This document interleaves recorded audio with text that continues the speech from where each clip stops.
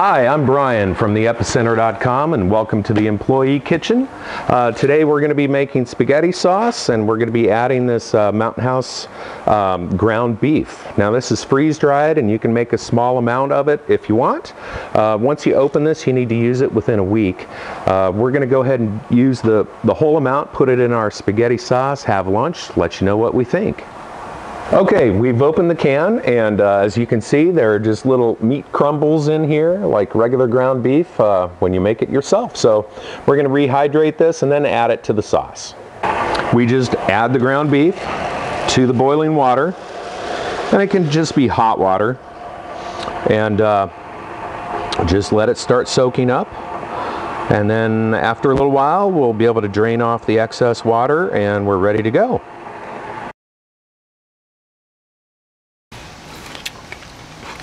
I like it. Tastes like ground beef to me.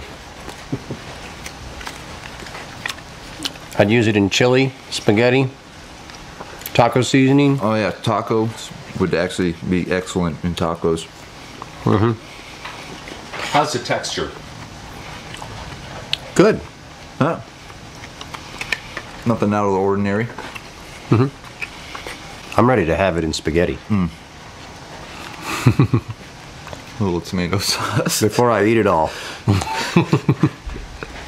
All right, first taste test of spaghetti with Mountain House ground beef.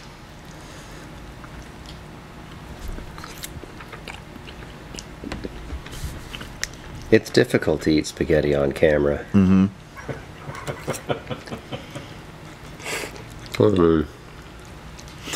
Emergency situation, you'd be thinking you're eating at a fancy Italian restaurant.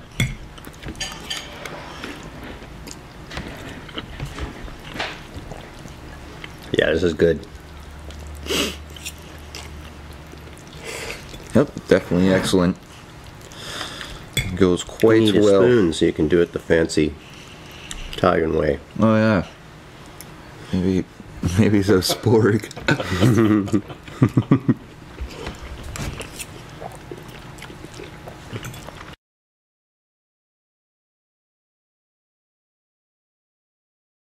Today we're going to be making spaghetti sauce and we're going to be making it with Mountain House. Uh, uh, okay, one more time.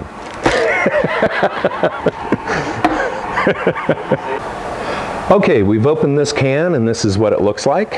It uh, just looks like regular ground beef. ground beef.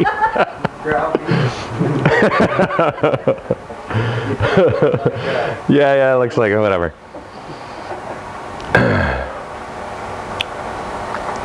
Okay, we've opened the can and this is what it looks like. Uh, it just looks like regular ground beef with, uh, you know, small little modules. Tasty little meat modules. okay. Huh? How about little crumbles? Little meat crumbles? Yeah. Meat crumbles. It is slightly seasoned, so it's not totally flavorless by itself.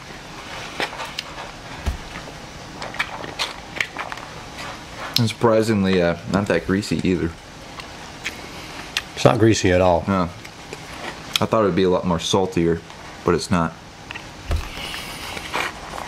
More saltier. I thought it would be.